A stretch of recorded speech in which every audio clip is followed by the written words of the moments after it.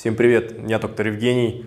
Внутри черепное давление или головная боль, либо постоянно распирающий глаз давит, как называется это еще, кластерные головные боли, когда выдавливает глаз. Возможно, это нарушение оттока, оттока из черепной коробки, то есть из черепной ямки, из венозных синусов, да, хоть из чего. Покажу, как это сделать быстро, отработать на столе своего человека, близкого, родного пациента, чтобы он избавился от этого. Смотрим.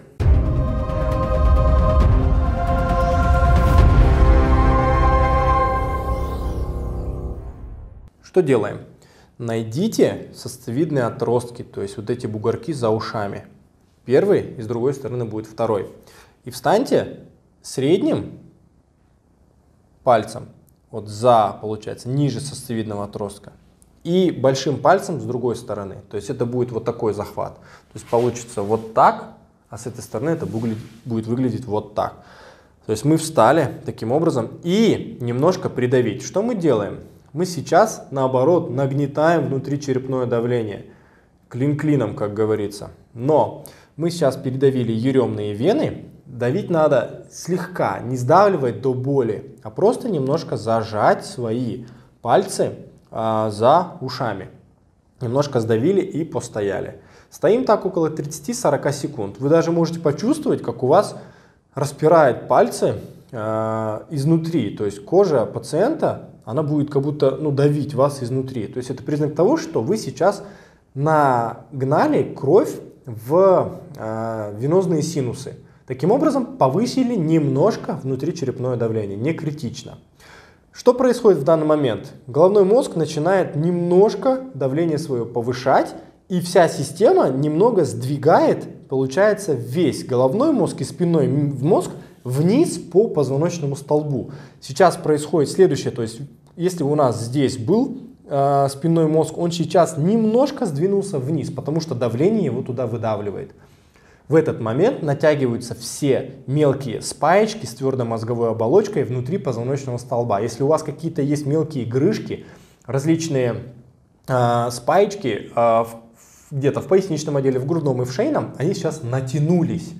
А теперь давайте весь этот конгломерат раскачаем. Очень удобно это делать в проекции шеи. Мы берем вот такую подковку, делаем из пальцев и на шею ее насаживаем. Вы можете это сделать, удобно сделать в проекции именно пятого, шестого шейного позвонков. То есть если седьмой самый выпирающий, то это будет шестой и пятый. Здесь у меня уже пальцы раздулись, долго разговариваю, поехали к технике. Встали таким образом в проекцию шеи. И задача сейчас делать осцилляции, то есть колебать вперед-назад, делать вот это движение мягкое на пятый либо шестой позвонок. Мы просто качаем его в сторону, тем самым раскачиваем всю твердую мозговую оболочку. Встали и делаем вперед-назад. Легкие движения, осцилляции, вибрации. Вы можете задать мелкую вибрацию, то есть прям дребезжать. Но не забывайте, мы не вперед-назад, мы не качаем по шее, не лозим, а именно вот.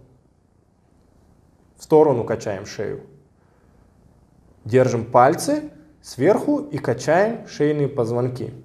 Надо именно встать в поперечные отростки, именно в боковые тела, так скажем, боковые. А, участки позвонков и качать их.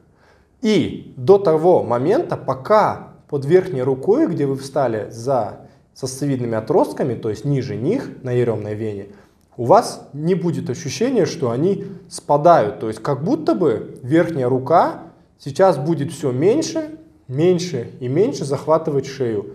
То есть будет ощущение, что вот так руки были, потом все меньше и меньше, при этом давление вы менять не будете. Это признак того, что здесь появилось дополнительное пространство, и теперь венозный сброс, он происходит более качественно, и венозная кровь распределяется по телу равномерно. Вот таким вот образом вы можете избавить быстро человека от его распирающих болей в голове. Пробуйте.